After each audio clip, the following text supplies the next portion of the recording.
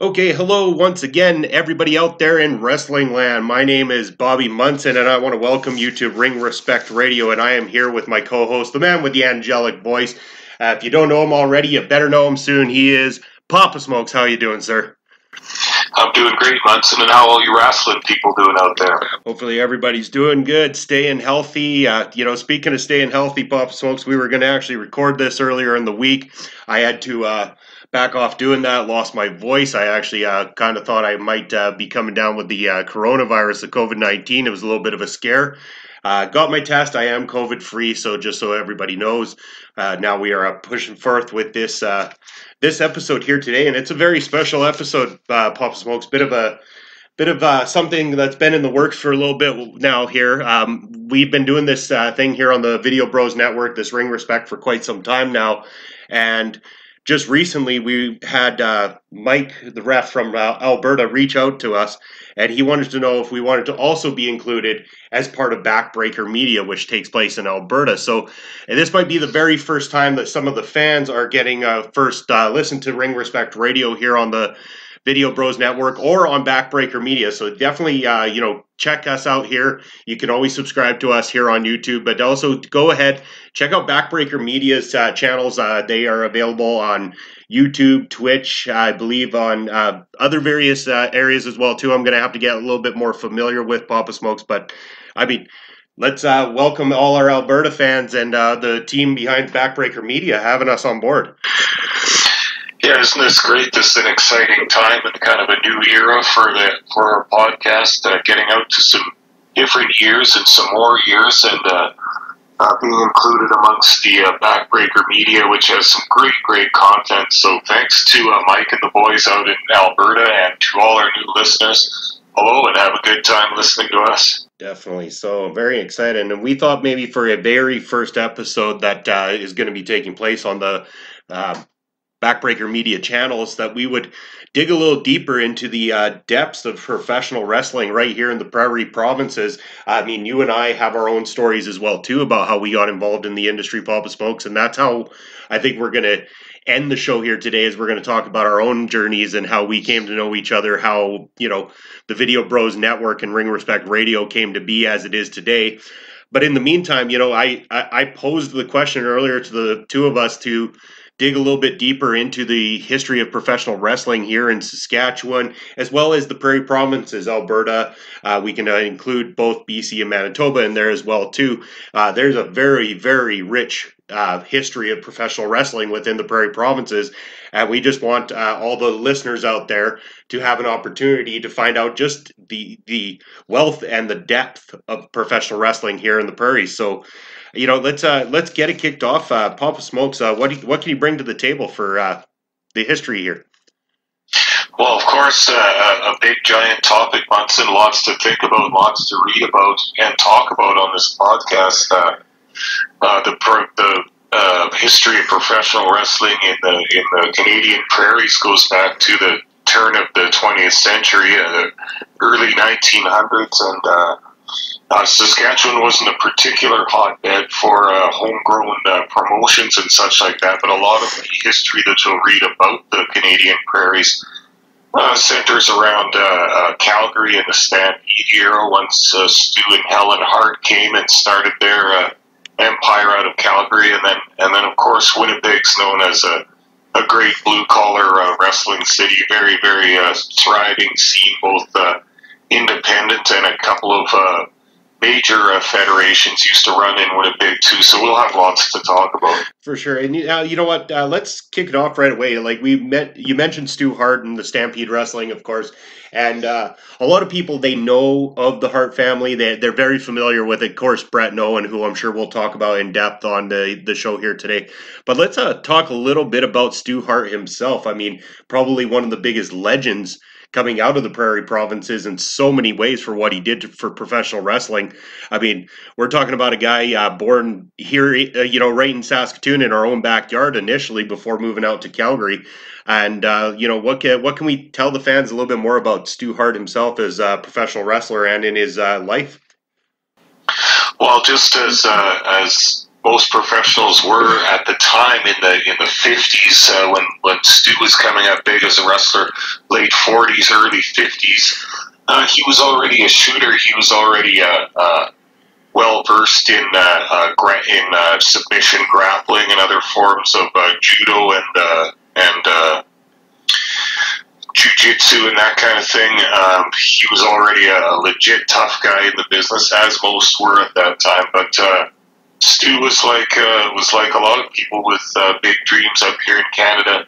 If you want to reach the top of your uh, uh, your profession or your art, you, and want to make the big money, you got to go down south to the states. So uh, Stu was a big wrestler in um, New York City and and the the New England uh, northeast kind of area there, and uh, he was big for uh, Vince McMahon Senior and uh, and a bunch of other uh, promotions throughout uh, Jersey and Maine, and then like I say, the the, the U.S. Northeast there, and, and he was a star in New York City. That, that's where he met. Uh, Helen Hart. Uh, I can't remember Helen's uh, uh, maiden name, but she was a she was a starlet. She was a, a showgirl, a dancer in uh, New York City. Someone that was also pursuing her dreams. A very beautiful woman when you look at her old pictures too. And, and yeah, Stu and her uh, uh, came eventually came back to where he wanted to live uh, up here in Canada, and uh, that's how the whole uh, Hart family and, and then therefore the Hart promotion and uh, training dungeon and everything got started in the first place. Definitely so, and quite a lot of famous names that came out of not only Stampede Wrestling but out of the Hart Dungeon itself that you speak about there. Um, you know, 1948, I believe, was when Stampede Wrestling uh, initially was founded and ran its uh, first run and everything like that under uh, Stu Hart. So he would have only been about, I believe, 33 when he came to run Stampede Wrestling out of Calgary, Alberta. Yeah, it's not bad, eh? From having been a, a performer in, in his presumably late teens all through his 20s, but to have enough cash and enough capital to, to move back home and start a, a, thriving promotion by the time you're 33 Stu must have been doing pretty good for himself in the business. Definitely so. And then uh, he ended up stumbling, well, not so much stumbling upon, but he was in a part of training and also uh, giving us uh, probably, you know, in my personal opinion, and uh, hopefully will uh, convince some other people's opinion. Uh, he brought us the star- Stomper Archie Gouldie, the Mongolian Stomper. Yeah. And uh, one of his no, go on. So sorry, I was going to say, and also uh, what many people might not realize too is uh, the Stomper, the 14-time Stampede North American Heavyweight Champion, a record for Stampede professional wrestling.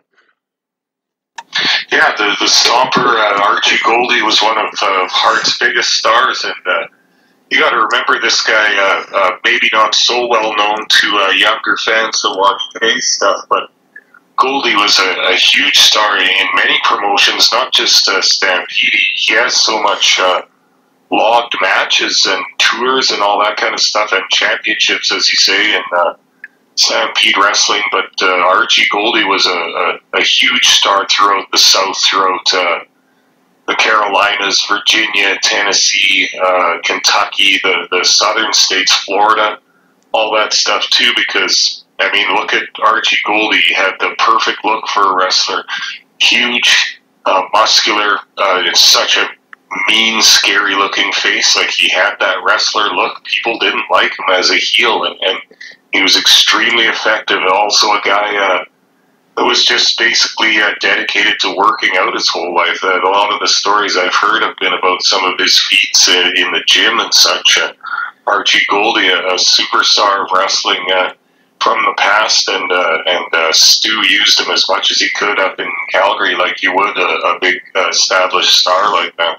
And he would have been uh, part of the uh, you know the infamous uh, first run of Stampede Wrestling, which you know also was the one that produced you know people that um, more modern fans might know, like Bret Hart, Davey Boy Smith, Dynamite Kid, were some of the big names that came out of the first run of Stampede Wrestling, or prior to uh, Vince McMahon Jr. purchasing Stampede Wrestling in 1984. Yeah, yeah, absolutely. Uh, uh, like uh, like many promoters have, and, and business owners in general, if, if uh, in the first few years when you're trying to uh, make your investment back and such, you, you want to use family. You want to use people close to you that you can trust as your employees. Um, wrestling, no different than that. Uh, the Harts were blessed with such a large family and uh, a bunch of boys and girls that uh, wanted to get in the ring and uh, and emulate their uh, famous father and uh, and get into the business itself. And look how that turned out. They got a number of, of Hall of Fame superstars out of that first run, including a few of the Harts and a couple of the sons-in-laws that, uh, that that were wrestlers that married some of the Hart sisters, such as uh, Jim Neidhart and uh, Davey Boy Smith and uh, a few others that uh, of note too. And uh, yeah, they, they grew it from the from the core of the family. Uh, It's a good and smart way to do it. Definitely. So, and uh, what a lot of people might not know, and I just mentioned that uh, Vince McMahon Jr. purchasing Stampede Wrestling in 1984. Uh, from that deal, all that the uh, then WWF uh, would have uh, picked up from that, they basically took Bret Hart, Davey Boy, Dynamite Kid was about the only guys that they took from that collection, brought them onto their show, and then actually resold Stampede Wrestling back to the Hart family in 1985.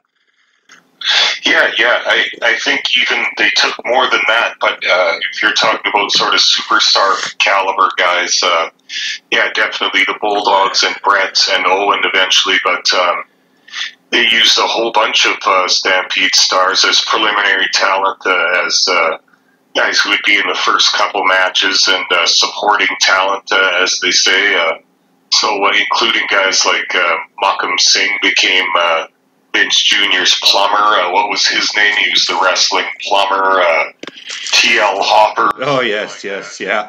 there were, yeah, there was another handful of of, uh, of good, solid workers that he could use as pre- preliminary talent too, and, and Vince got him cheap, so he bought it. He took them and used them too. Yeah, and then uh, we mentioned that second run, and I mean that second run is where we started to see uh, guys like the Owen Hart, Brian Pillman, uh, Chris Benoit, for that matter, started to come out of that era of Stampede Wrestling, which ran from about 1985 to 1989. Okay, yeah, yeah, and uh, and then of course there's been a third and fourth run of that too, where in more modern times where you've seen uh, Natty Nad, Natty Neidhart and uh, and uh, T.J. Wilson and a few of those other guys too that have come up since then. Even even Davey Boy Jr. Uh, Boy Smith Jr. now is making a good name for himself in wrestling. No, and what a great talent he is as well too. And yes, I believe that third run you talk about there, Papa Smokes, ran from about 1999 to 2008.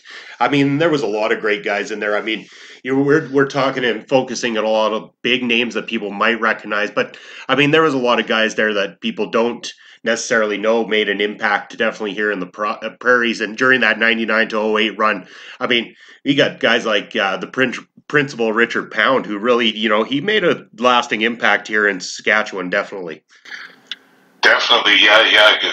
Not to uh, not to leave out uh, Principal Dick Pound. He, he made a he uh, did lots of shows for Stampede across uh, Alberta and Saskatchewan as well.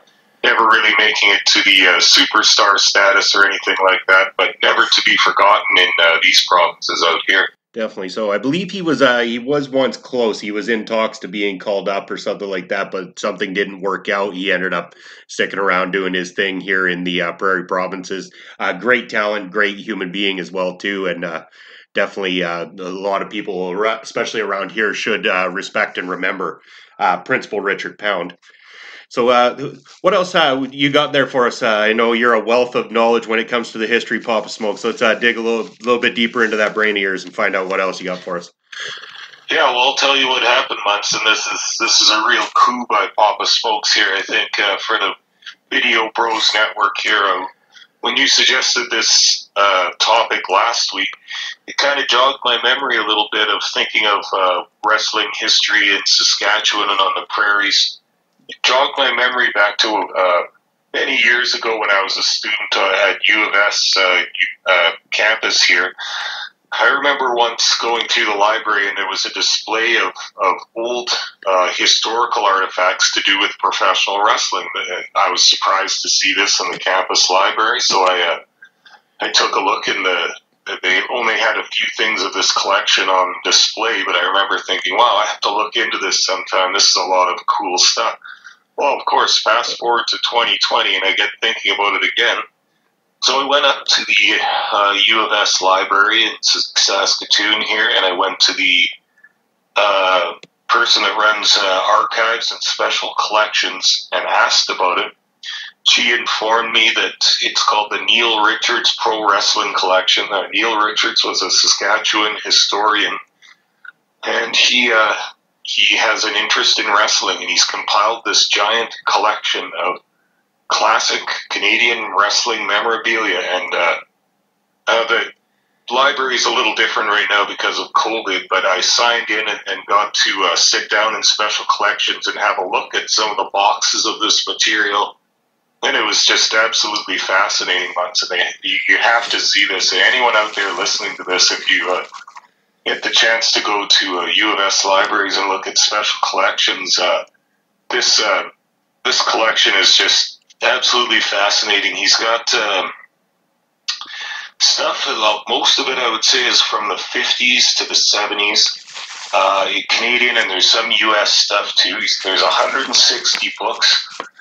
There's 920 photos, some of which are kind of pinups out of magazines, and some of which are uh, collecting cards, kind of like baseball or hockey cards. Um, a bunch of these pinups are from the old magazine called the Police Gazette. Some of those are from 1889 up to 1913, and then there's some other ones too. There's a bunch of stuff from Montreal's La Presse magazine from the 20s to the 30s. there are pamphlets, posters, fan scrapbooks, comic books. Uh, there's a whole bunch of Stampede wrestling programs from Regina from the 50s to the 70s. Uh, I can't even uh, hardly go through all this stuff. I only had an hour with it on campus, but it was absolutely fascinating. I went through boxes and boxes of books, and uh, I, I, kind of particularly liked the trading cards the best. Um, many names that I knew, many that I didn't know, because a lot of this stuff's quite old, and some of these guys never really made it big into the history books so much. But uh, he has in there uh, full collections of Canadian Parkhurst trading cards. excuse me, 1954 to 55, and then 55 to 56. He's got the full collections.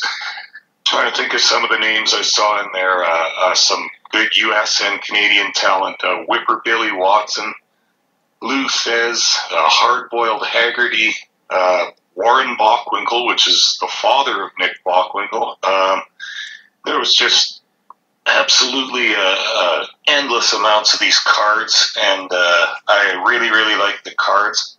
There was a bunch of uh, books as well in there, including an extremely rare autographed copy of Lou Thesz's book Hooker, which she was a hooker in the old days. You could get your hooks into someone and they tap out in the old grappling days.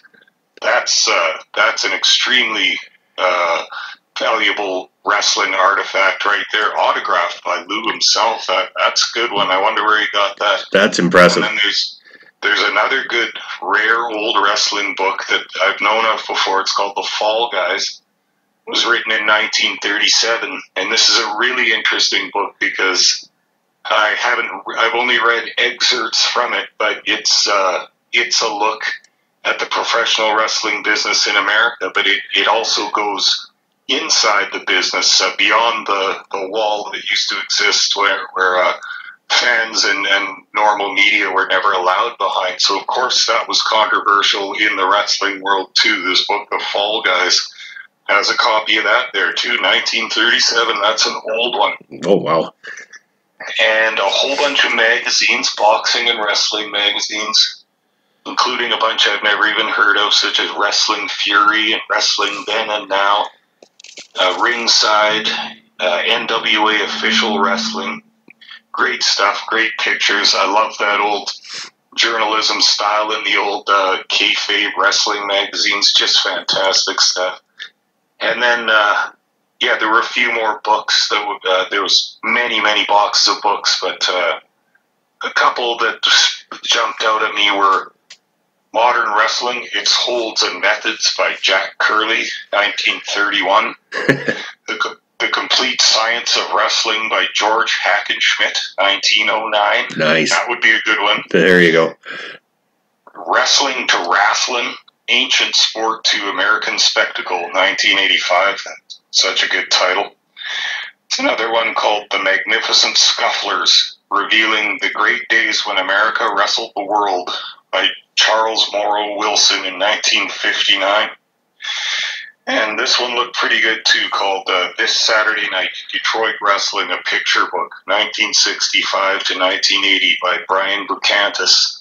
That one's from 2007, that, that more of a modern book. They, they also had some modern materials from the 90s and 2000s and such like that too, but I wanted to focus on uh, more ancient artifacts if we were going to do a retro dive down uh, wrestling's roots out here. So uh, that, that's just a that's just a sample of uh, some of the stuff that was in the special collections in the library. I felt Good. Sounds very uh, fortunate to uh, get to view it, uh, especially since I'm not a student or prof there anymore, and uh, came in as a guest. The library was very nice and uh, accommodating to me, uh, even though they're a little stricter about stuff during COVID. But I got to look at it and uh, got to, uh, you know, kind of spring my memory and my and my uh, interest levels going up about that. So if you ever get the chance to see this, anyone. Within the sound of my voice right now, and including you, Munson, we should have a look at this because it's really, really cool stuff. Well, you definitely caught my attention. It sounds like you found the holy grail of uh, professional wrestling history all within our own backyard. I did did not know that was even available, but now I, I definitely want to check this out.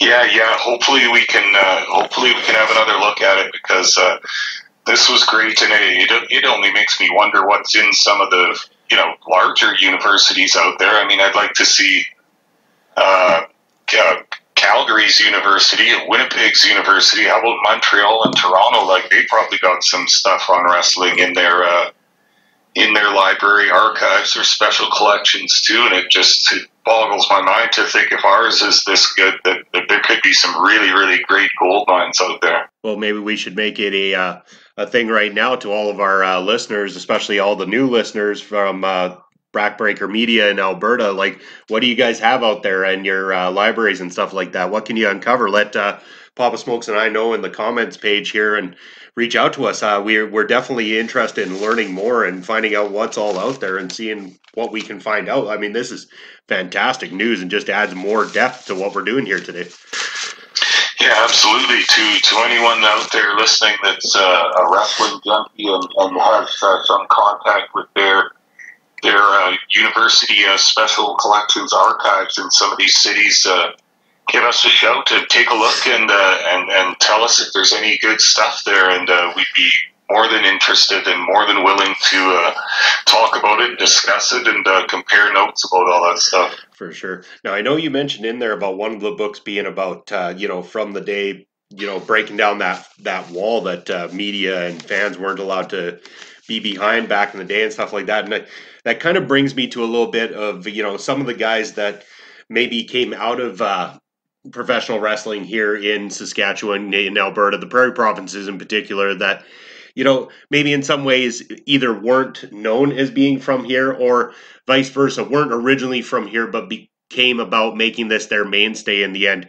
Uh, you know, I'll start with uh, Roddy Piper is the name that comes to mind, born in Saskatoon and uh, you know, worked a lot of the Canadian, uh, Western Canada professional wrestling scene and stuff like that before becoming the Roddy Piper that everybody knows is being billed from Glasgow, Scot- Scotland. There.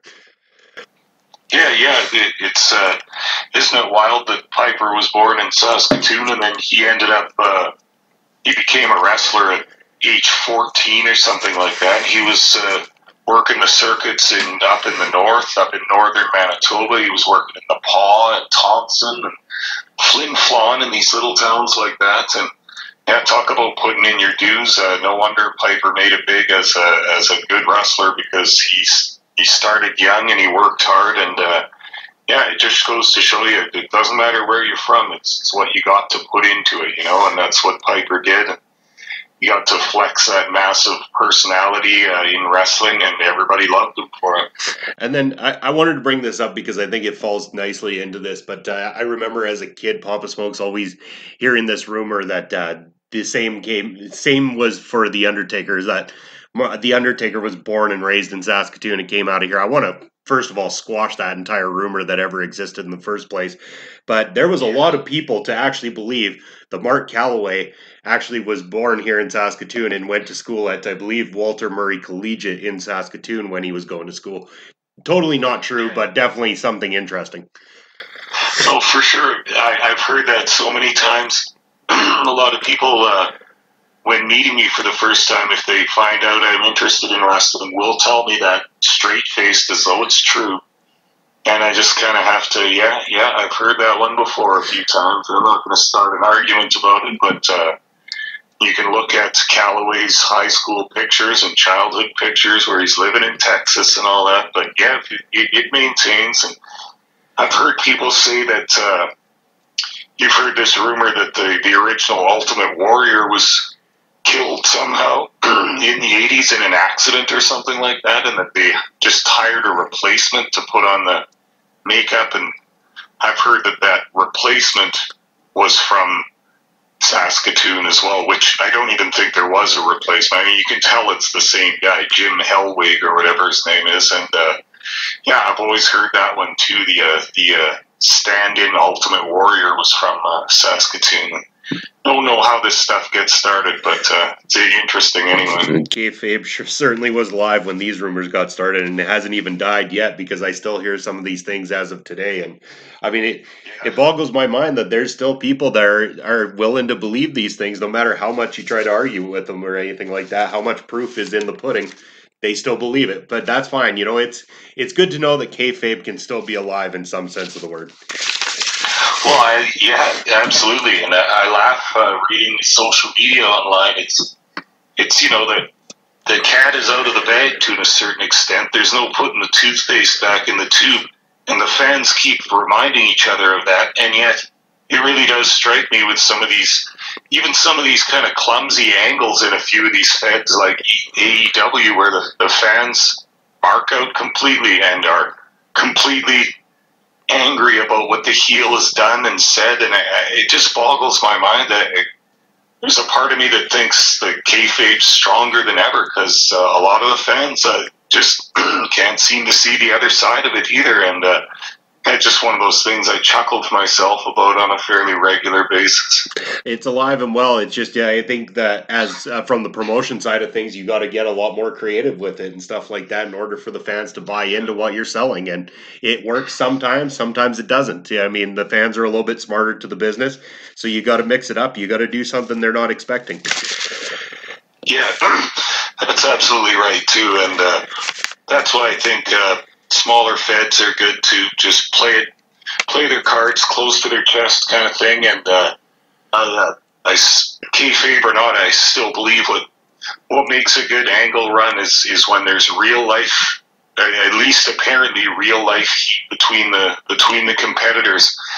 If if there isn't any, then what is your match worth? Like we we don't need to see a we can watch a, a an exhibition of acrobatic uh, forums and stuff like that. But uh, unless there's some actual heat in, unless you're actually thinking in your mind, these two don't like each other, and really pretty much anything could happen at this time. Then it it, it takes away from the intensity of the match. So I, I think some uh, I think it's quite valuable still today. I agree with you there. Now there is uh, one more particular person and stuff I want to talk about here, Papa Smokes. But before we go to that, I was just wondering: is there any other topics or anybody else you want to bring up on this subject here? Um, no, not really, Munson. I kind of got uh, carried away with uh, this trip to the uh, university library, and uh, and uh, I just immersed myself in the comics and trading cards and old magazines of the day, and, and it really makes me want to present something better to the fans uh, or something more in depth that, that we can actually uh, sink our teeth into. And uh, I wish I could have taken some pictures of some of this stuff, but they don't allow that either. It's it's uh, it's, it's kept under lock and key and all that, and that's for good reason too. But uh, and it really blew my mind as a as a wrestling historian. I, I couldn't believe that I'd stumbled across this, and uh, yeah, like I say, we got to take a peek at this one of these times, and hopefully maybe uh, bring it over to the fans a little bit better about just how uh, excellent of material there is in this collection. For sure. So, so the uh, last bit I wanted to bring off uh, up before we start transitioning into the next portion of the show here, Papa Smokes. I wanted to mention I said about people maybe not being born in the Western provinces, but making this their mainstay, and in particular, I had in mind. Uh, Lance Storm comes to mind in a big way. Uh, born in Ontario, but has made Calgary his his residence for so long, and he is his Lance Storm Academy has really become one of the uh, main staples of training in the Alberta wrestling scene for quite some time now.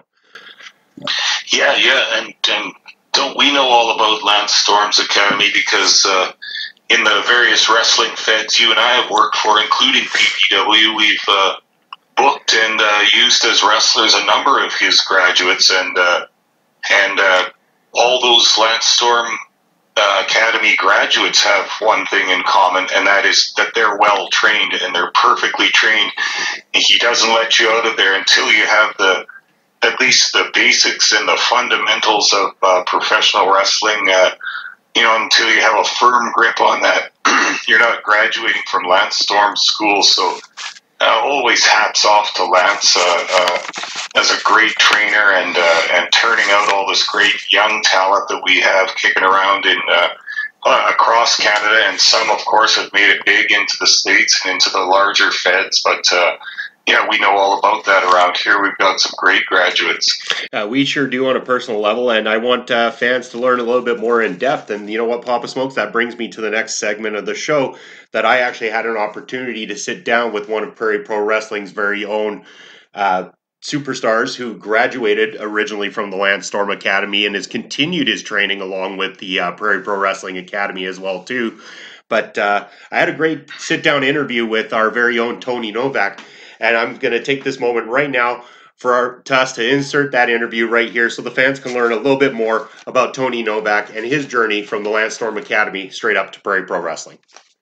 Check it out. All right, everybody, thank you for joining in. This is a very special edition of Ring Respect Radio. I am Bobby Munson, and I'm joined by a very special guest at this time. I am joined by Prairie Pro Wrestling alumni Tony Novak. Tony, thank you for joining me here on Ring Respect Radio today. Right on. Thank you for having me, man. Yeah. So I just want to do a little rundown of uh, your career, and uh, let's start by maybe letting our listeners know a little bit about you. Uh, what got you interested in professional wrestling, and tell us a little bit about uh, your journey getting into it, uh, where you started training, maybe some of the companies you've worked for as well too. Well, I actually kind of got into wrestling almost by accident where I went over to my cousin's house when I was 10 years old and he told me he bought a pay per view. Didn't know what the hell it was, and I checked it out and it was a Royal Rumble. And from there, I just started watching weekly, and I gotta tell you, man, it was like it was like I found something I've always been looking for. you know, like I love action movies, I love like uh, concerts and stuff. I love like showmanship stuff, right? So I'm 10 years old. I check out pro wrestling. It's everything I've ever wanted, and you know, like growing up, I I was very active in sports. Like my everyone in my family plays volleyball and hockey. Now I did as well, but I never got myself to a point where I was taking pride in it. You know. So when I started watching wrestling, it was like, of course, I'm thinking to myself, oh, what if I'm a wrestler someday? And then when as soon as I graduated high school, I started looking around locally, and I see high impact wrestling and stuff. But just connecting the dots, seeing that it was possible you know, back in my head, I've always wanted to try it, but man, I just you, you win accolades in hockey and volleyball, like, like like like any sport, right? But I've never been like excited about it. I've never been happy about it. I've never I've never fantasized about being a professional hockey player, man. so just playing hockey was just just like a side gig, right? Just doing it almost just for the hell of it. But pro wrestling, was all I ever focused on. It's all I ever watched. It's all I ever talked about. And you know, you hear the cliche of people like, "Oh, I grew up with all my friends watching wrestling, and then they outgrew it, but I didn't." That's exactly what happened to me, man. Just on a lonely island, dude who's, who wants to be a wrestler, dude who watches wrestling. and after I talked to uh, the high impact wrestling people, when was that? Like 2014. 2014. That's when I was originally trying to get into it, but I don't know, just just kind of fell through. Nothing ever came of it.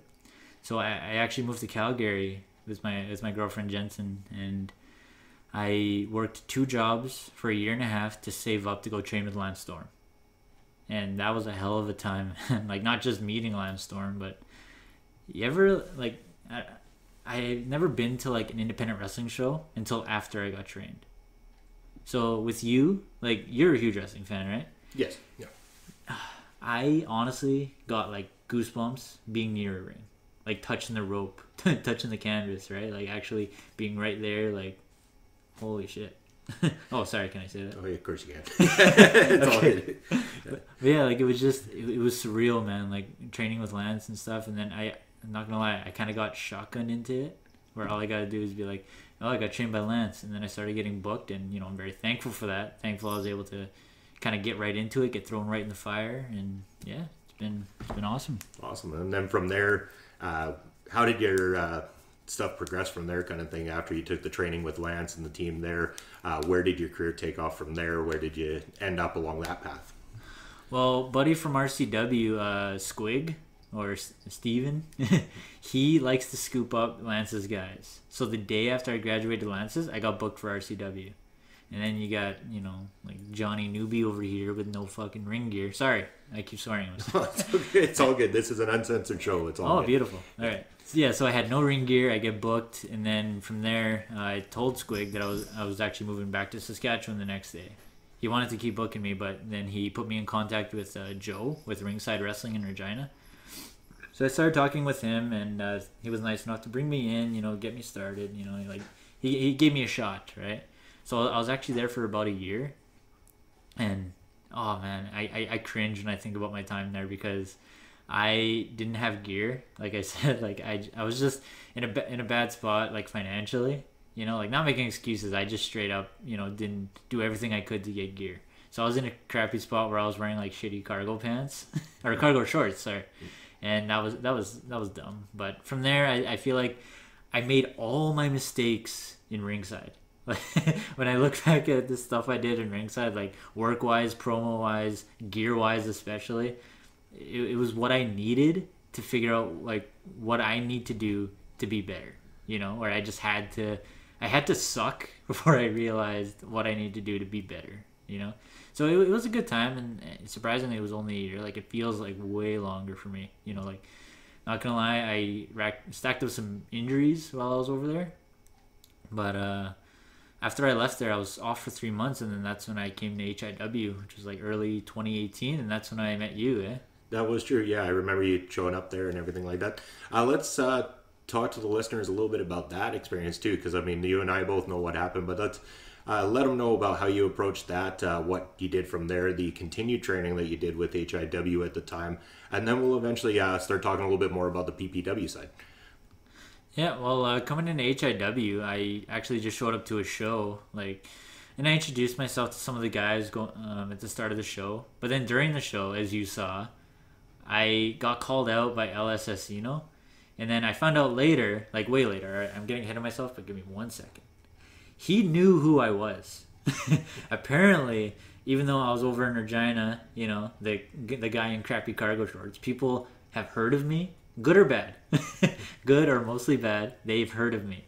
So when I went to the show, El Asesino, of course, he's shooting his mouth off, telling people that you know they don't have what it takes to get in the ring, and there's just some like he was messing with me. All right, he was talking to me like I was a fan, you know, which I was at the, uh, on that night. But he called me into the ring, and he wanted to make an example out of me.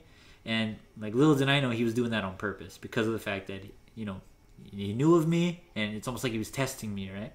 But I got a job with HIW out of it. I impressed people enough where I got brought in, and it was, kind of a similar situation to ringside where I was kind of really struggling to find an identity. I was really I, I had no confidence when I first came in HIW, man. I really got into my own head about how maybe in, in ringside, you know, I just I wasn't given much opportunity for a reason.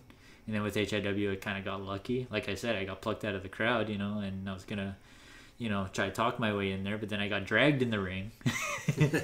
so it was very unconventional, but I think it worked out for me in the end because I actually rose through the ranks there at HIW, which which was a lot of fun, and I learned a lot. And there's just something really exciting about a whole locker room of guys I've never even met, let alone wrestled. You know, so one year later, I uh, ended up feuding with El Assassino again, and that completely changed everything for me. I don't know if I've even told you this, but 2019 was the best year of my career. You know, start of 2018, no confidence. Start of 2019, I got two matches in a row with El Assassino where I feel I really found my footing, and I just kind of changed people's mind. Definitely Yeah. so, and they, I mean, it really stood out uh, again that opportunity for with El Assassino. Uh, getting to call those matches and getting to witness them was a great experience, and getting to see what you were bringing to the table and watching your progression from there was definitely excellent in that sense. Uh, so let's talk a little bit more in depth about actually working with El Assassino, what it was like being dragged into the ring by somebody who, I mean, as everybody knows, is one of the most vicious, vile individuals inside those ropes. I mean, was there any fear in the back of your mind when you had to step in there with, you know, a walking legend like El Assassino? it was it was very nerve wracking. You know, like even just the way he talks, man. He's in your face. He's very like he's intimidating. You know, like we're we're about the same height, man. But it feels like he's towering over me when he talks to me. It's it was intense. Like yeah, if we trail back to the very first night, it was completely different from the way it was from let's say the very last time he and I fought. You know, like I feel like whether he means to or not, he brought out the best in me each time. You know, like, I said, I had no confidence when he dragged me in the ring, but I hung in there with him to the point where I, where I got brought into HIW. You know, and he smacks the hell out of you, he'll slam the hell out of you, and he'll talk shit. It's, it's unreal. Like it, on paper, that sounds like a horrible situation to be in, the kind of situation that you want you'd spend your whole life avoiding. But when I was in there, man, it's what I needed. You know, so screw El Assassino, but I also want to thank him because I honestly think it's because of him and you know the the lickings he gave me. You know, it's made me the wrestler that I am now, and made me believe that I could hang in HIW, and then from there, PPW, and being a top player. Exactly, and yeah, we'll uh, transition over to the PPW talk now too, because we know El Asesino's heavy hand in PPW is there as well too. Uh, you two have, you know, had that match in Prairie Pro Wrestling at the Food Truck Wars and stuff like that. Uh, let's talk about like uh, when you were first approached by Prairie Pro Wrestling to come on over to join it. Uh, what your thoughts were um, coming into a new company. What uh, maybe fears you might have had, or you know, excitement you had going into it. What was your uh, game plan coming into Prairie Pro Wrestling? With Prairie Pro Wrestling, man, it couldn't have come at a better time. Like I said, I was really finding my footing in 2019, and halfway through 2019, that's when this came up, and it like it was just perfect timing because uh, I wasn't even nervous. I was incredibly excited. It was a- an entirely new platform with people that I know would give me every opportunity to succeed and give everyone opportunities to succeed. Like we all know HIW had like some uh, some some problems, right? Some troubles here and there, and then everyone's hearing the rumor and innuendo that HIW is going under, and you know, and then you hear conflicting reports that it's staying around, and then you hear Prairie Pro Wrestling. It, it was a hell of a time, you know, just all the questions of like where we're gonna be able to work, you know, who's all going where. Uh, like where everyone loyalty lies and stuff. Like it was, it was, it was, it was insane, man. But first chance I got, I talked to Prairie Pro Wrestling and I told them I was more than happy to come in. But it, uh, I, I don't think I talked to you about this either. But I was actually gonna stay with HIW. You know, I was approached by the booker and the promoter, and they asked me if I was gonna stay around because a lot of people were leaving left and right. Everyone was out the door, man, and they asked me if I was gonna be one of them. But working in in your hometown, that's it's, it's it's almost a no-brainer, right? And then Prairie Pro Wrestling was actually very good with to me, where they they were gonna let me work with HIW because they, they understand that you know like ring time is invaluable, man. You know you just need it, you need it, man. And then I had an opportunity to work for two promotions in my hometown. You know, like like I can't turn that down. No, it's a great opportunity. As anybody would know, the more exposure, the better. You get the better ring experience and stuff. And that's always been the thought with Prairie Pro Wrestling, right from the get go, was that we wanted to give everybody an opportunity to be able to explore themselves, get that experience, whether it was with us or with somebody else, without you know shutting that door like so many have done before, kind of thing, and trying to make uh, things be so exclusive and stuff. You know, open Yeah, this whole new yeah. world for you know not only the fans but also for the workers as well too, and uh, you you yourself being along for that ride. Uh, let's talk a little bit uh, before we wind this up about uh, some of uh, your favorite matches you've had, whether it be in PPW or other companies. Uh, maybe some of the guys you're looking forward most to getting in that squared circle with. Uh, well, like I said, El Asesino, man. As much as I hated getting chopped by that, that guy, to the point where I actually had like a, a single bead of blood go down my chest. You know, you just get to that point. But I'm thankful for those matches. So I, I, I hate the guy, but I gotta have El Asesino on the list there. Uh, in ringside, um, I got to face this guy named uh, Scott Justice, who's a huge name in Alberta. He he's actually moved now. Uh, I think he's I believe he's back in Australia, but he was a guy. I was only like two months in when I worked with him, and he he really pushed me too. Like goddamn, he kicked my face in. He threw me around some, but like only the one time. So I think because of that, I'm able to look back like through rose-colored glasses, right? Where that isolated match taught me so much, and actually with CWE, I don't, I can't believe I didn't even mention CWE. But the entire time I've been wrestling, I've been with CWE. I just want to throw that out there. or CWE was just like come through Saskatoon here and there. But with that being said, every time CWE came through, they gave me some kind of like uh, productive match to be in, right? Whether it's like working with someone who's very character driven, which helps me, you know, helps me uh, perform better, and then experienced people. Like, dude, I got to work with Juventud Guerrera less than a year ago, which was so much fun. And then Chase Owens, I worked with him less than a year after I debuted. So with with people like that, Chase Owens, Juventud Guerrera, just want to single those guys out because they um, they push me in a very different way. You know, where it's like you have no choice but to keep up. You know, where ah man, with I wrestled uh, Chase Owens in ratty cargo shorts. You know, but he made me look good that night. You know, he made me keep up, which I which I did thankfully. You know, but just you, I'm very lucky to have had the matches that I've had. Like like I've only been uh, yeah, it's been it's been four years. I've been a pro wrestler for four years, and I'm just very lucky to have had the matches that I've had. So if I could just say El Asesino, Chase Owens, Juventud Guerrera, Scott Justice, those are my all-time favorite matches. Beautiful. And what about uh, looking at some of the guys that are out there right now, or any of the potential opponents that you have coming up in Prairie Pro Wrestling, or even outside of Prairie Pro Wrestling?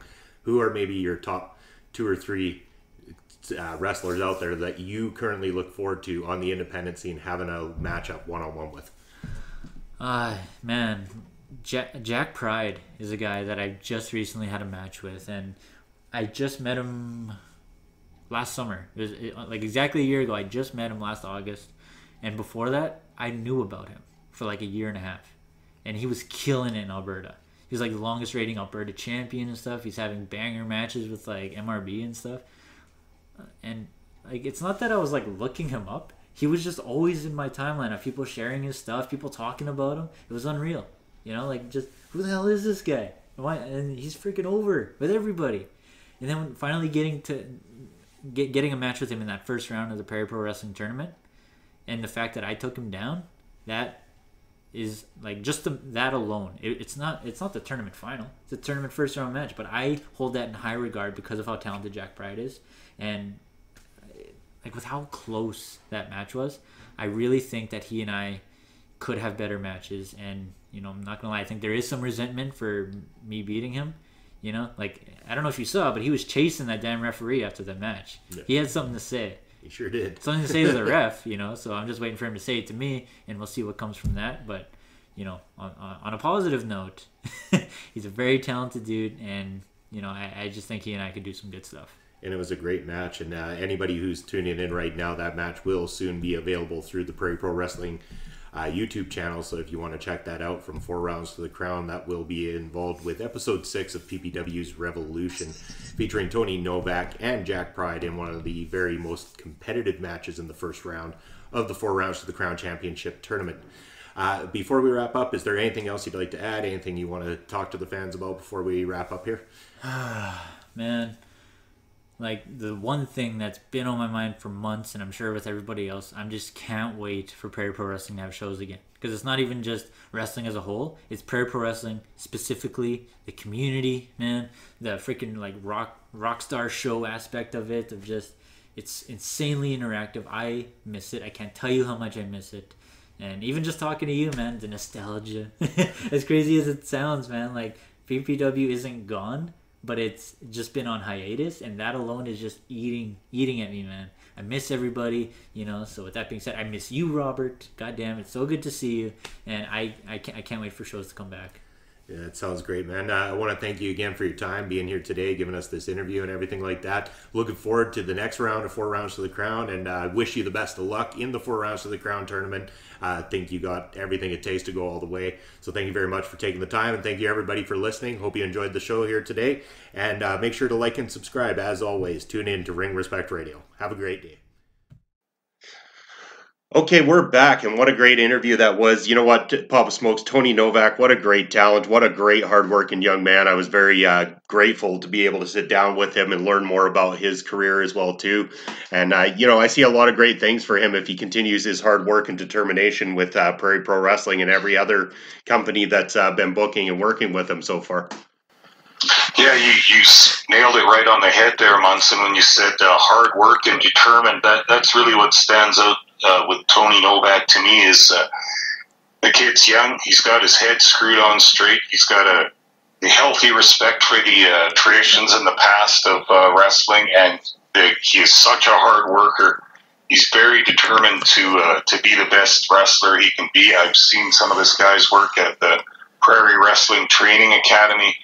He, uh, he tirelessly trains, and uh, that's the kind of hard work that's going to get a guy ahead in this business all cheers out to Rocket Shoes Novak. Definitely so. So I uh, hope you guys enjoyed that interview. And now we're going to take it down to a little bit of a more personal touch here on Ring Respect Radio, something we haven't done uh, quite as much. But, you know, I, I, we, we sit around uh, before we record these shows sometimes. Uh, having a few brewskis, a few shots of whiskey, and just talking over, you know, our our past history with professional wrestling uh, before we were even involved with the industry itself, you know, what, uh, you know, what kind of brought us to it as kids and stuff, Papa Smoke. So I thought for fun, again, we would uh, come into this segment and talk a little bit more about our own stories and how it came to be. Uh, you know, I'll get started with my childhood portion, get you to talk about your childhood portion, then we'll get into the whole where it kind of brought us together here today kind of thing with what we're doing. So, uh, so we'll we'll go back. Uh, I mean, I was actually originally born in Calgary, Alberta, but uh, moved out to Saskatchewan before the age of two, uh, where I grew up. And I, I, think my earliest recollection of professional wrestling was sitting around uh, with my brother on a Saturday, and you know, flipping through the channels once you got past all the uh, early morning. Saturday cartoons and stuff like that. And I, I remember flipping to a channel and it was WWF superstars at the time or or or yeah. wrestling challenge, whichever it was called at the time in our our area and stuff. And I, if I'm not mistaken, I believe the Earthquake was the first guy I saw out there crushing, uh, you know, a, a jobber opponent at the time. And right away, I just thought, you know, what is this larger than life show that I'm seeing right here? I, I wasn't familiar with and I was just glued to it instantly. I mean, I would go with my brother. We would walk down to the local video store, you know, once every week, and we would dig through their bin of old tapes that they were trying to sell. So we would be buying you know old wrestling tapes for you know a couple bucks and stuff like that from the video store we would rent everything that we could ever find that was wrestling based from you know WWF to WCW. Again, we were very limited in what was available through television and through the video store at the time. They didn't have a whole lot of the you know the NWA material or anything like that or anything kind of you know pre WWF. So I mean, you know just as well as I do that I was kind of exposed more to the WWF side of things as an early child. As I've grown, that's definitely changed. I've gone back to experience a lot of uh, great wrestling and everything there.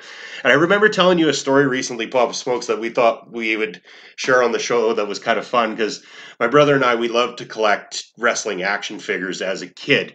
I remember one night at our school, we used to do these in January. They were these uh, fun night things that we do. And when you got a little bit older, you ended up being the one that will work some of the events, the kind of thing. You were behind the scenes helping out and everything. And I remember them having one of these kids fish pond things where you know you pay your little token you come in with a little fishing rod that you dump over top of this wall and somebody on the other side clips a prize to the end of it person pulls it up you know you win a prize every single time and i happen to be working the fun night thing this on the fish pond that night, and I remember my brother was standing in line waiting to take his turn, and there, sitting in the pile of prizes, was Akeem the African Dream action figure, and I thought.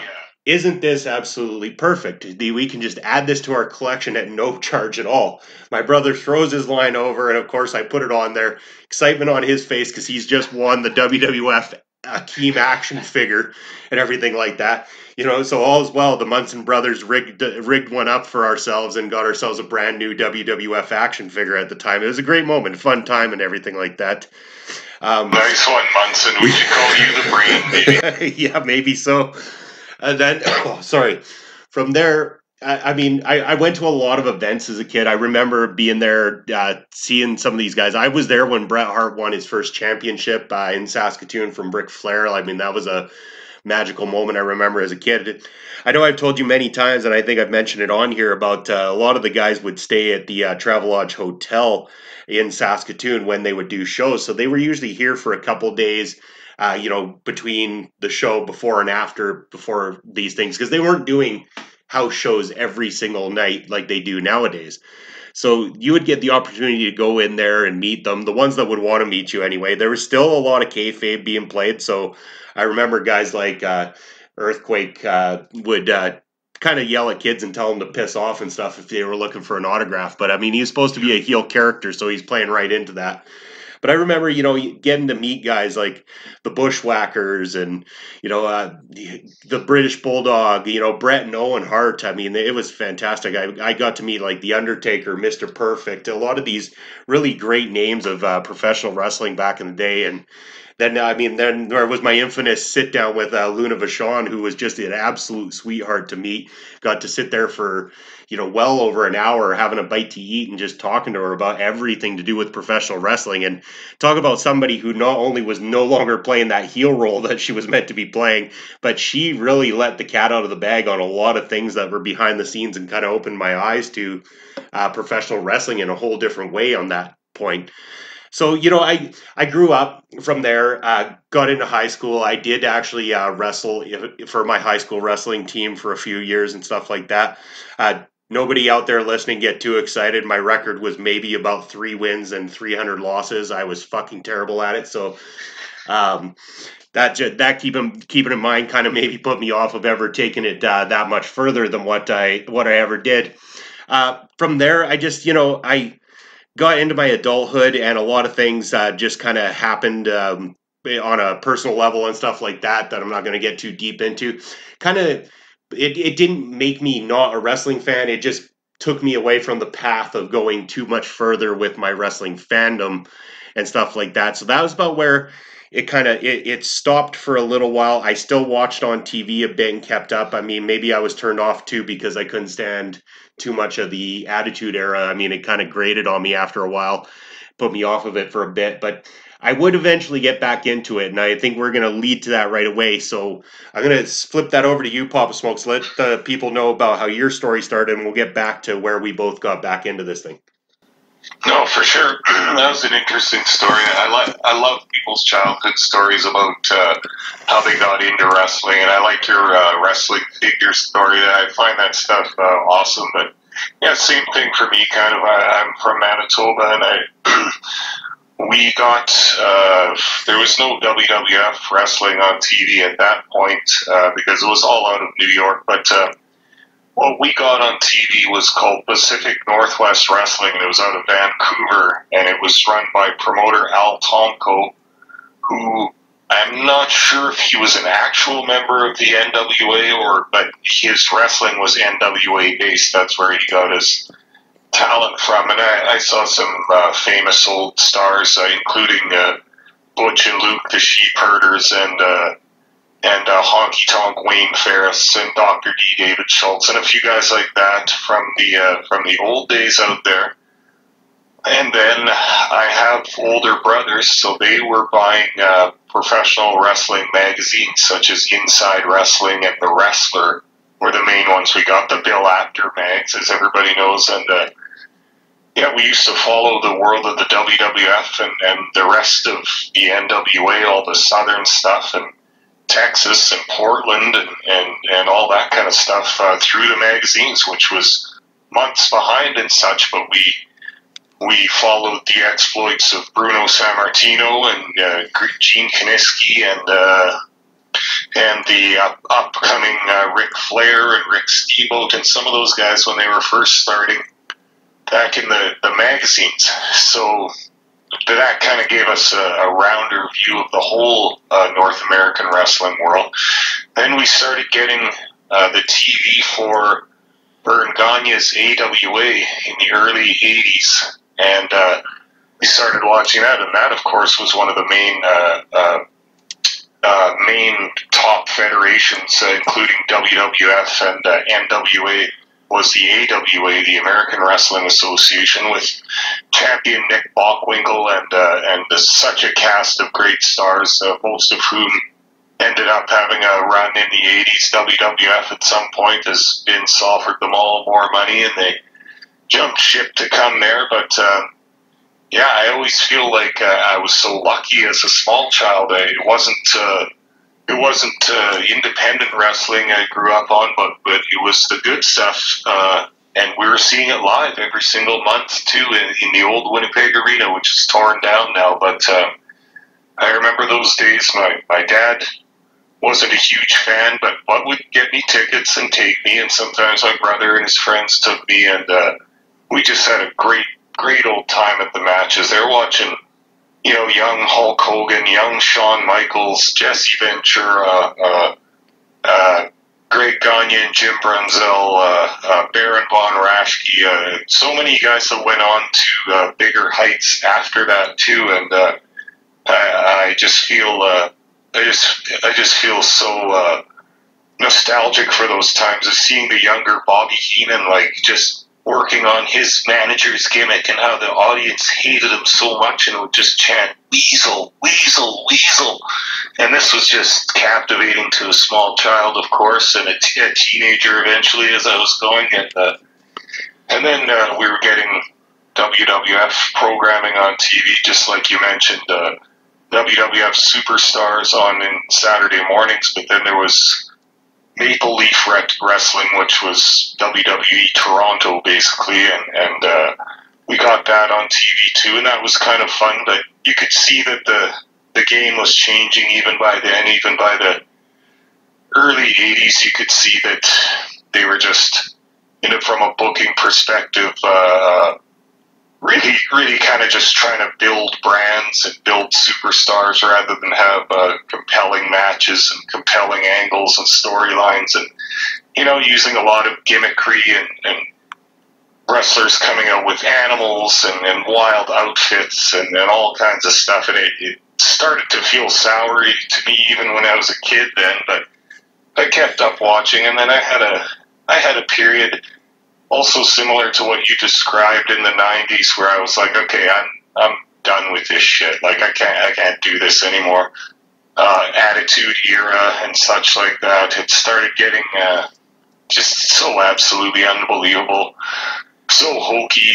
Um, just using talents that I didn't think really deserved to be there, et cetera, et cetera. So I, I had a good eight or ten years where I just had basically turned my back on uh, on most wrestling. I, I still went to some independent shows here and there, but I was just not going to watch on TV anymore. I was not going to pay money to go see pay per views in, in bars, you know, back in those days, which is what you had to do. So I had other interests in combat sports and other kinds of sports, so I just kind of focused in on that for a while, and then I got back into my 30s, I guess. I, I, I started to, I I think I just missed it really, and I, I thought I got to go about this in a different way, and that's that's when I really started getting connected with uh, with uh, independent wrestling again, with whatever local show would be going on in the city you lived in, and just see what they have going on. There's always uh, some great wrestlers and some that aren't so great, but that's kind of what makes uh, the balance of a good promotion. And uh, yeah, that's basically kind of how I've come back to it now. I, I don't don't really care to watch uh, the the big companies on TV anymore, but uh, I, I'd rather pick a smaller company that has a bit more color and a bit more character and uh, is struggling and is, is trying to do good and is trying to make it big and putting uh, passion and energy into it. And that that's kind of where I'm at now. So, uh, uh, yeah, I will watch uh, NWA. I will watch MLW and, and shows like that that, that scout their talent from within and, and don't just trade uh, for other wrestlers that have been on TV with whatever level of success and such. I, I like to see the development of, uh, of new wrestlers in smaller promotions. So it's kind of where my fandom is at right now. And great place for it to be. Uh, I mean, you mentioned NWA and MLW, both fantastic shows that if our listeners don't currently watch either one of those shows or haven't given much attention to them, Ch- change your frame of mind and start uh, supporting those two companies because the material they're producing is uh, absolutely amazing. And here's the catch: like we've talked about this before, Papa Smokes. It's a lot of the guys that keep coming out onto, you know, like say AEW for example, and people get all excited about them. Well, these are guys we've been seeing work in the NWA and MLW prior to this kind of thing. I mean, we're very familiar with their work, and everybody acts as if this is some brand new talent that they've never seen before because they've never taken that opportunity to go check them out. Yeah, and people are saying, "Who's this new guy, Eddie Kingston and stuff?" And you just have to kind of chuckle, thinking, "Yeah, I guess he is new to most people that watch wrestling." But uh, it's a 20-year vet right there. The guy knows what's going on, but he's got a big chance. He's on TV making some real money, and uh, and I wish him all the best. Yeah, I think the same. And I just heard that uh, Thunder Rosa heading that way as well too. And I mean, uh, one of NWA's great talents right there. Yeah, and good for her too. I I, I really hope NWA is going to be okay. It, it sort of sucks that the, some of the smaller companies that have been being uh, uh conscientious about uh, not not having crowds and not performing during COVID, they're the ones that are being hurt in a financial standpoint and, and talent wise too. They're they're losing some of their talent, which really sucks. But uh, no, I, I, wish them all the best. I'll continue to support their stuff uh, as long as it's on. Very much so, and you know what? I know a whole plethora of uh, talent out in Western Canada that would love to work for the NWA or MLW. So if their uh, rosters are getting thin, I'm pretty sure they can uh, head out our way and uh, pick up some many great talents to add to their shows. Yeah, yeah, they should think about that. We've got uh, we've got a few they'd be interested in for sure. Definitely so. So now we want to get to the part where we uh, talk about kind of how we did get back into it and uh, what led us to where we are here today, Papa Smokes. And I'll start it off with saying that uh, the the whole ring respect thing came about. Uh, it, it was a slow process. I I remember being online one day and seeing an advertisement for a, a, uh, company out of the United Kingdom that was called Cultured Vultures. This is a uh, kind of a pop culture media uh, publication that's online. And they were looking for people to do uh, write ups about professional wrestling. I wasn't quite sure what they were looking for. Uh, it ended up being that it was very uh, centered around like the current product, uh, especially WWE and stuff like that. They were looking for, you know, definitely looking for what would drive the immediate attention to the website and stuff like that. But they did at one point give me a chance to write a feature which was about my uh, time at uh, day camp day, day camp training or whatever and everything like that so that was a neat experience so i did write for them for a little while and while i was doing it i, I started thinking to myself like I, I feel like i have more of a voice when it comes to professional wrestling than just you know writing previews for the upcoming uh, nobody's going to watch it wwe pay-per-view and stuff like that. And i started to think you know, there's a lot of podcasts out there right now, and a lot of these guys, I kept listening to them, and it was every single time they'd watch a pay per view is bitch about this, bitch about this, online, bitch about this, bitch about that, constantly complaining about the product that they were hate watching, in my opinion, and stuff like that. And you know what? I, I understand the frustrations that are out there and stuff like that sometimes. So I thought maybe I'll try to be a bit of a character and stuff like that. Maybe I'll be the the positive guy. I'm going to start a podcast as this positive guy that talks nothing but positivity about these kind of things. And so I went forth. I originally called the show Rob's Rock and Wrestling there for a while and started running it that way. I mean, the viewership was not good by any means or anything, but it, it got my foot in the door, which was nice. And it also led me to my next step, which was I met a couple of uh, young wrestlers that were working for local promotion, uh, High Impact Wrestling, HIW at the time uh, they ended up talking to me for a little bit, and they're the ones who ended up putting me uh, in contact with uh, our good friend Roberto. Um, we'll we'll leave it as Roberto. We're not going to go say who he is any further than that, but uh, we uh, got in contact with Roberto and I started coming in to write articles about uh, high impact wrestling. I would do a little bit of the reviews of the shows that they brought me into. Uh, I, from there, I got to meet uh, Dice Steele, who was a part of those shows as well too. And then I went and did, uh, like I said, I did the day camp with them. I wanted to be able to say if I'm going to write about these guys or talk about these guys, I want to be able to at least step in there once know what it's like to feel like to be bumped onto those aprons and stuff like that, just so I can say, hey, look, I put forth that much to show that I'm committed to this industry and everything. So I went forth and did that portion of it. And I think maybe that's when uh, it kind of opened the doors a little bit more. They realized that I wasn't just some guy coming to write a couple of things. I wasn't just a another fan in the crowd. And that's when we started talking about doing uh, HIW uh, Wildside Wrestling as a TV show or a YouTube show. And that uh, became a meeting between myself, Roberto, and Dice for quite some time. That they would then uh, have to go try to pitch back to the promoter, uh, King Cash. Uh, there was a lot of uh, back and forth before we decided that we were going to go ahead and do this. And we did an initial taping of one of the shows. We filmed the whole thing. I got it edited up. And we, I remember sitting down at Bar Tari there and watching this thing, uh, both with Roberto and Dice, and absolutely watching them in amazement of how well the uh, different camera angles uh, switched over and stuff like that, and not missing certain pieces and everything like that. My timing on it was pretty decent. And I mean, I was pretty pumped to hear from guys who were in the industry this long that you know I had done a good job that pleased them on this. And so there was talk about doing uh, commentary at this point for the show and putting it on YouTube. And originally, uh, the idea was I was going to be doing commentary alongside of uh, Doyle Benson, who we're both very familiar with, one of the great uh, supporters of Prairie Pro Wrestling. Uh, he also is uh, works for uh, Wendel Clark's Bar and Grill, who's also a sponsor of Prairie Pro Wrestling as well too. So I remember Doyle and I sat down at a bar one night to try to run commentary uh, back with the uh, that old equipment that I had there that we were using off the hop there. Yeah.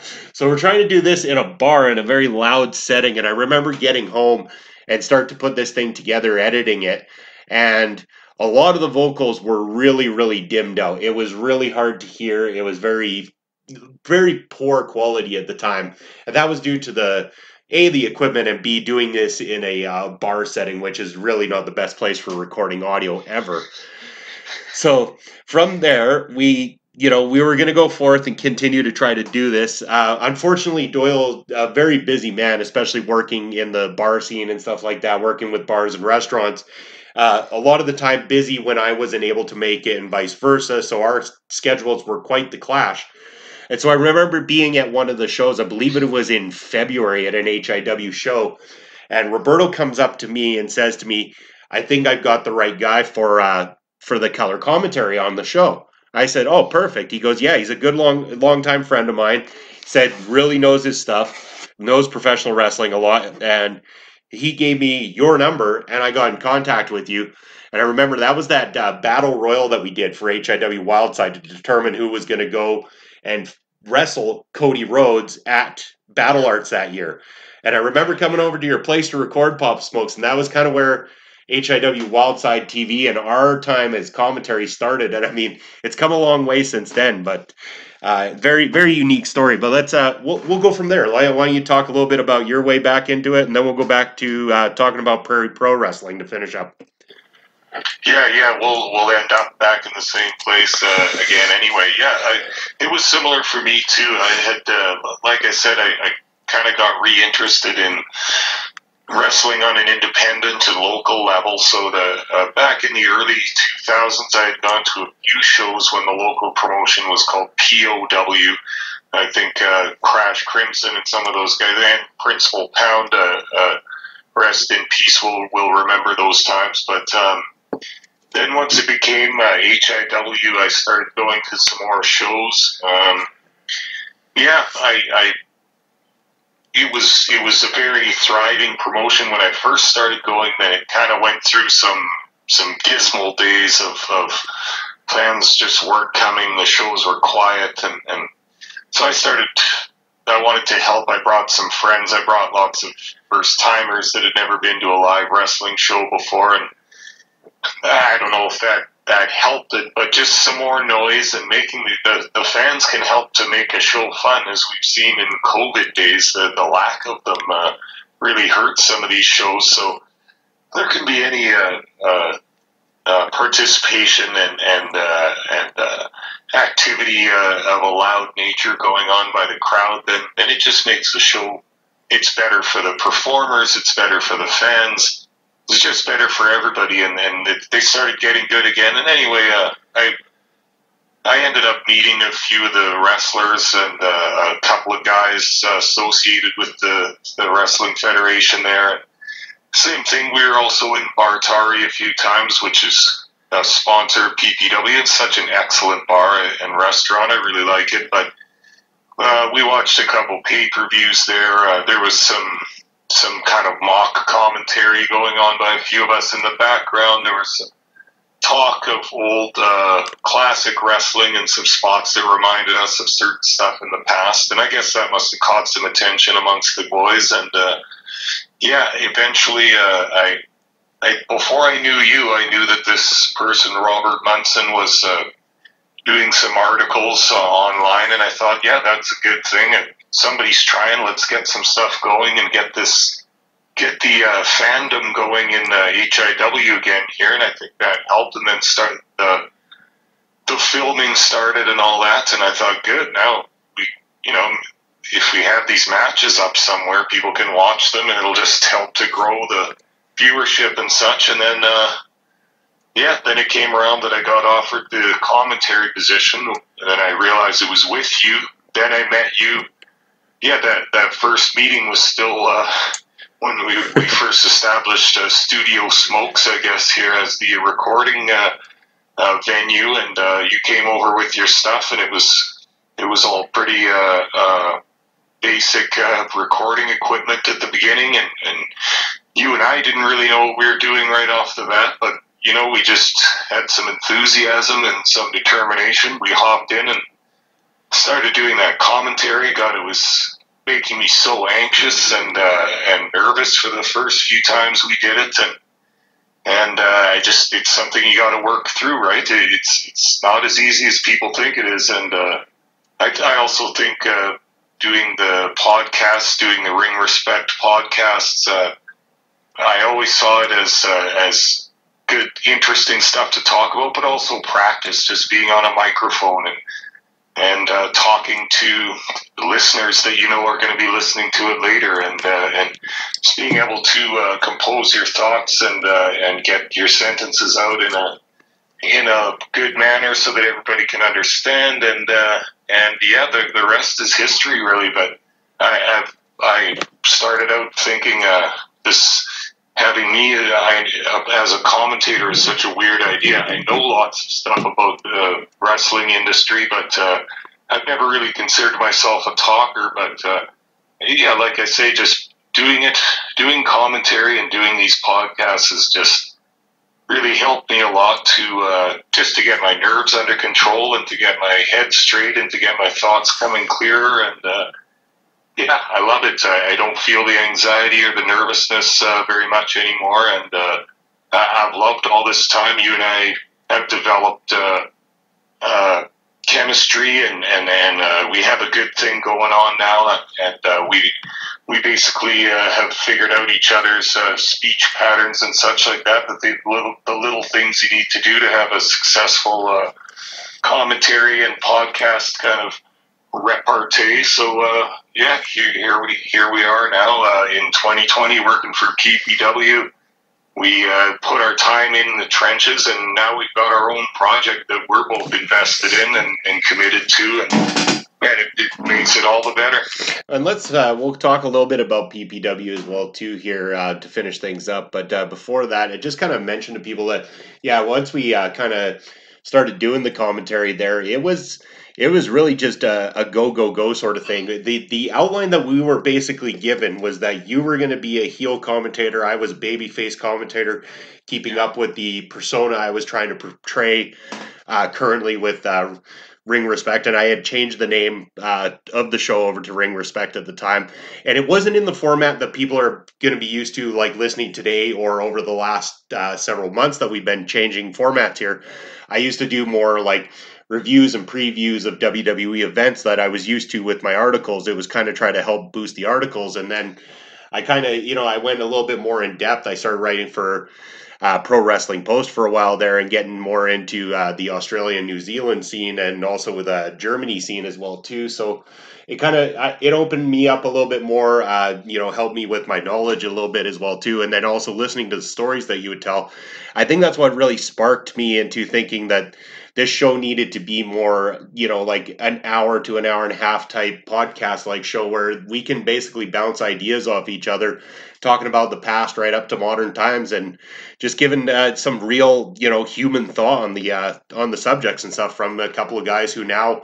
I mean, what has it been? It's been a probably a few years at this point, Bob Smokes, that we've been uh, doing this kind of stuff. Yeah, yeah, it, it, seems weird, eh? But it has been a couple of years now, and uh, I, like the format of the Ring Respect podcast now. That this latest one we've been doing for a while. Uh, we've gone through a couple as we've just experimented with what kind of sounds we liked. Uh, I, I also like the ones where we used to uh, just call old classic matches on YouTube. Those are still up there. Those are pretty good ones too. Just picking a match of some interesting uh, wrestlers from the past and just calling it kind of through the lens of today sort of thing. And I liked those ones too, but uh, I think we got a good thing going on now. Now we got it on Backbreaker Media, and we can get our voices out to a few more sets of ears, and uh, I just think things are going smoothly and uh, all the way up right now. And just as always, we're always looking for opportunities to grow and push ourselves even further. And that, I mean, that's what I, I know. I've always been about that. I've always wanted to, you know, I, I I'm never content with things the way they are. I always feel like we can always strive to do better and everybody can always strive to do better and I look for those opportunities and that's you know it's what I did. I I came into HIW when I did and everything like that. I you know again, you get into the wrestling industry in that sense and stuff like that pop smokes and not everybody was all on board with having me there filming or being a part of that kind of thing because they, they didn't know me personally and rightfully so. They didn't really owe me anything at the time so it wasn't like they needed to you know be kind to me and accept me in with you know loving arms or anything like that. But you know there was definitely some names in the industry that uh, surprised the hell out of me that were very welcoming very you know great people that uh, taught me a lot of things along the way and stuff like that. I mean again i I owe a lot of my start to Roberto and Dice for what they got me into. But even getting to work with uh, talents like uh, I'm gonna I'm gonna mention him right now, Michael Richard Blaze, who on more than one occasion would sit down and talk to me about his particular match, some of the things that were going to happen, you know, things to watch for and stuff like that, which got me keeping an eye open for certain points in a match and stuff like that, knowing where to be, where to get those cameras, and you know, coming up with some great things to say. He was always an open door, and it continues to be an open door. Anytime that I've wanted to contact him about anything, he's always been willing to talk to me more about professional wrestling and give me as much information as he can and stuff like that. And I'm not saying he's the only one. It's just a name that has been in the industry a long time that immediately comes to mind. That's kind of always helped me out anytime I've needed it there. Yeah, yeah, I've uh, that that's awesome. Really, I can tell that you and Blaze have a have a good little thing going on.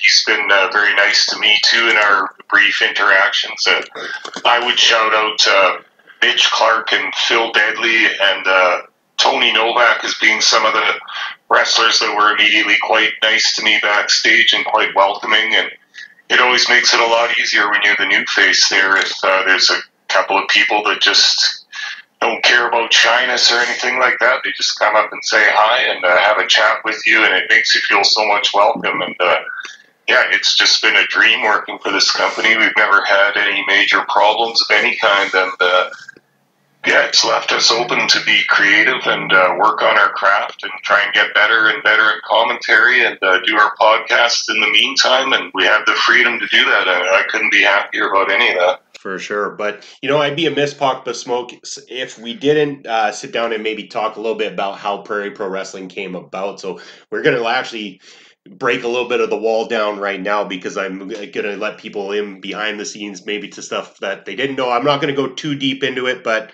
give them a little bit more than they knew from before anyway. So, you know, we were working in HIW there, and I know like that you and I had had discussions before about like you know some of the turmoil that was going on there and stuff like that. I was trying to my best to stay out of it and ignore it, but it is very difficult when you're right in the midst of this thing and you know the expectation becomes you know you need to come here film our show break it up into all these different episodes edit it break it down go and do commentary and stuff like that and i mean it's it's exhausting work i enjoy doing it but it's exhausting work and I know I eventually do have a tipping point. I think my tipping point was when the expectation became much more. It was not just you're you're doing a great job for us and we really appreciate it. It became how much more can we get out of you?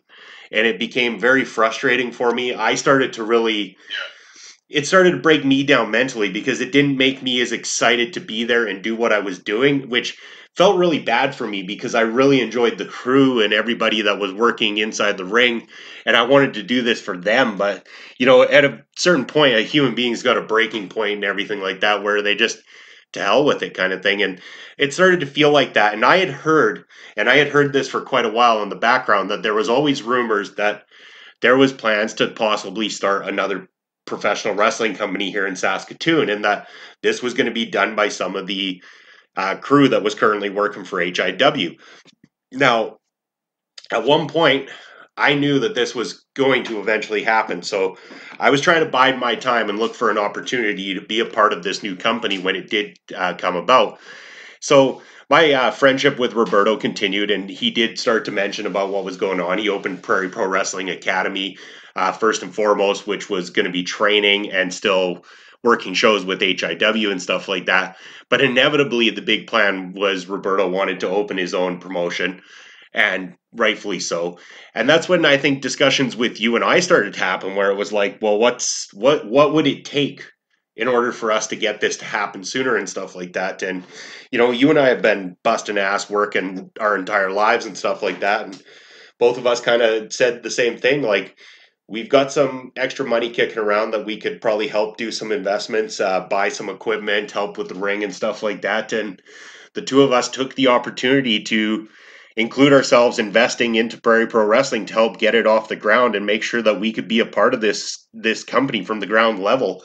And the neatest part about that for me, Papa Smokes, was not so much the investing part, was the being accepted as someone whose opinion mattered now finally. Like when we sat down with those meetings and we were talking plans for food truck wars and what we needed to do and then when we'd sit down for meetings to discuss you know storylines and what was going to be planned out like i remember those first meetings talking about what was planned for you know between some of our main stars and stuff like that right off the hop and we got to give that input as if we were you know somebody whose opinion mattered in this industry finally yeah, that was definitely a big plus to that whole time too.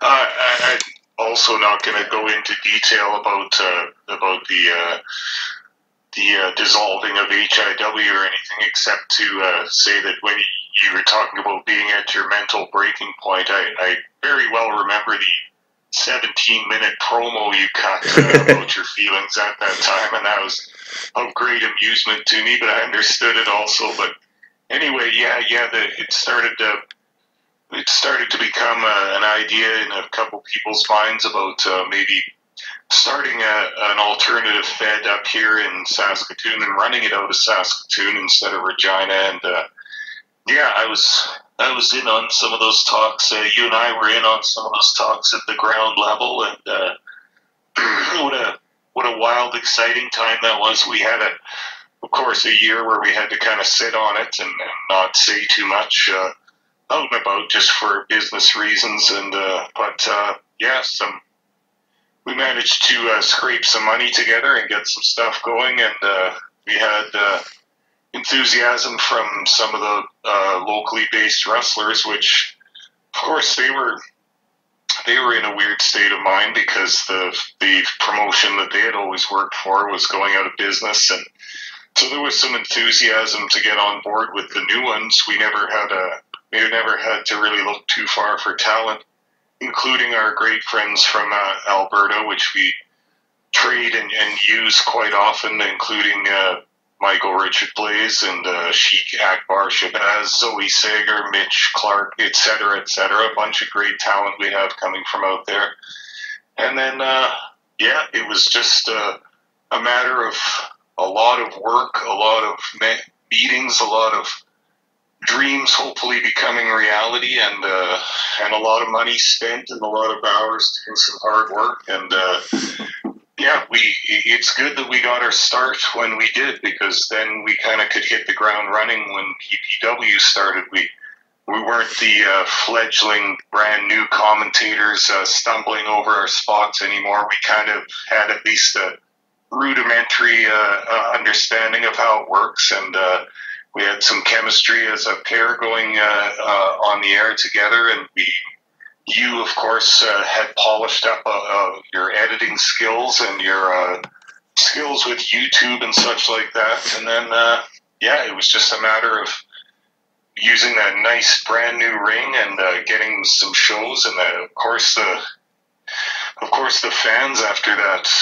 better part of a year with with no local shows were just foaming at the mouth for some live indie wrestling action. So yeah, it's just never been a never been a problem with PPW. We have a good venue. We always filled it, filled it. Plus, some some people think we should get a new, bigger venue. Uh, some people like myself aren't sure about that because I like the ambiance of, of everybody jammed in there and making a lot of noise. Now, now with COVID, of course, that becomes uh, maybe a point that we should think about again of getting a bigger one and so we can seat some people uh, within proper social distancing. I don't know. This is all stuff we'll talk about uh, behind closed doors eventually. But um, yeah, yeah, hasn't uh, hasn't it been a wild ride? Uh, with PPW and, and being there on the on the ground floor when that started, eh, Munson? Oh, for sure. And I know you mentioned about the editing and stuff like that. And anybody who's uh, checked out Prairie Pro Wrestling Revolution, I mean, there's been a few mechanical problems that we've had with a little bit of the equipment during the recording process that I've tried to fix up best I could.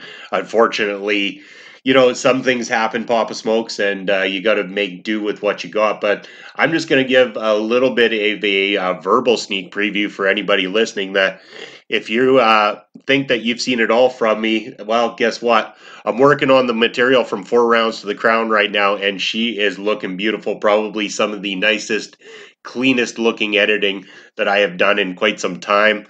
I've really been taking my time just uh, fine tuning it and everything like that. So, uh, those cameras that were given problems, I don't think are going to be an issue with the two episodes coming with the four rounds to the Crown Championship material stuff.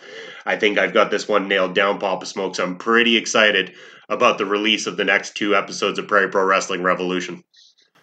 Well, okay, good. We, we wouldn't want anybody complaining about that or anything. But we are doing our best here, and uh, those cameras we have would go from tape and then to video, so it's it's, it's not a it's not always a perfect uh, transition or anything like that. Uh, we're doing our best with what we got here, and uh, yeah, I, I, think that uh, unsanctioned street fight of Creed versus Clark was just looking real good. Uh, those camera guys got some fantastic shots during that match, and uh, that's also been a new fun thing for PPW too. Is in the video bros Papa Smokes and Bobby Munson doing the filming too, and uh, working as a team in that too. I think it strengthens our bond for commentary and uh, for knowing the product really good, and, and that's been a wild ride too. And uh, just loving watching the stuff on YouTube. Oh, very much so. And, you know, if uh, you're checking out the uh, Prairie Pro Wrestling YouTube channel, we just released a video of uh, Tony Novak, who dropped a uh, bit of a promo video. Uh, just as an alert, there is a little bit of a spoiler in that one for anyone who wasn't present at Four Rounds to the Crown. So if you haven't watched the Four Rounds to the Crown material yet, or you don't know about the winners, do not check out Tony Novak's video just yet. But if you have, then definitely check it out. If not, uh, you can also wait, and I will be including it with the second episode of the Four Rounds to the Crown or something along the lines there. Uh, it'll be on a future episode of Prairie Pro Wrestling Revolution, included with the actual show as well too. So that was a great little great little bonus that Tony Novak gave to everybody to try to uh, help boost morale and everything as well during these COVID times and not being able to have live wrestling here in Saskatoon. It's uh, been a real shame. I, I mean, personally, on a personal note, Papa Smokes, I miss the fans. I miss the workers. I miss just the the the ambiance and the atmosphere of being at a live show.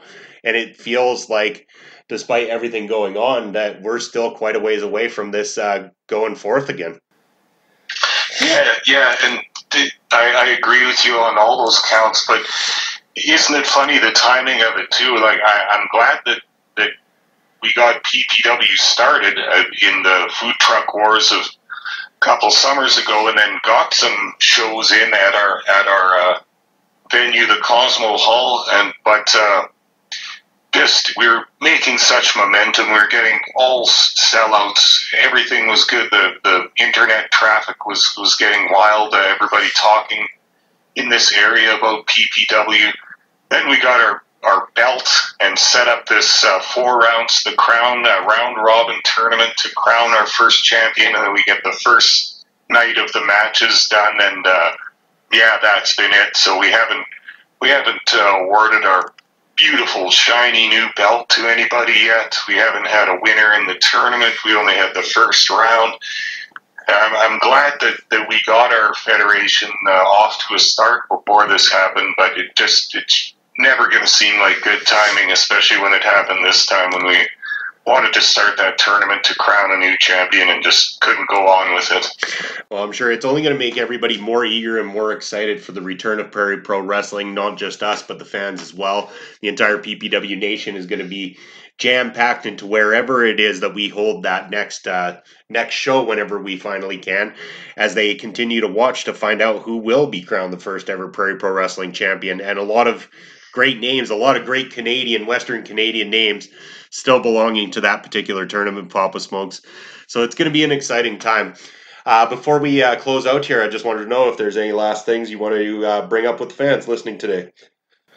No, no, it's been a good talk already. Uh, uh, we've had a nice long podcast here. Why don't you wrap it up for us, Munson? Definitely so. So thanks again, everybody, for tuning in. I uh, wanted to again thank you all our friends at Backbait, sorry, Backbreaker Media in Alberta uh, Mike the Ref for this uh, fantastic opportunity to be part of their program as well, and also continue to allow us to put the material on our own program for the Video Bros Network as well too, without any conflicts or anything like that. It's just another great way of branching out and reaching out to more people out there as well. So not only check out our show, but check out all the shows available through Backbreaker Media and all the work that Mike the Ref does. I mean, just I'm gonna a little applause right there for that man because he puts in a hell of a lot of work into this industry and deserves it right there. So thank you again, Mike. Thank you, Backbreaker Make Media. Uh, for all of you listening, make sure to hit that subscribe button down below and turn on the notification bell so you know anytime that Papa Smokes and I release material right here on the Video Bros Network. Once again, we thank you for tuning in and continue to support professional wrestling and, in particular, Western Canadian professional wrestling. Thank you and have a great day.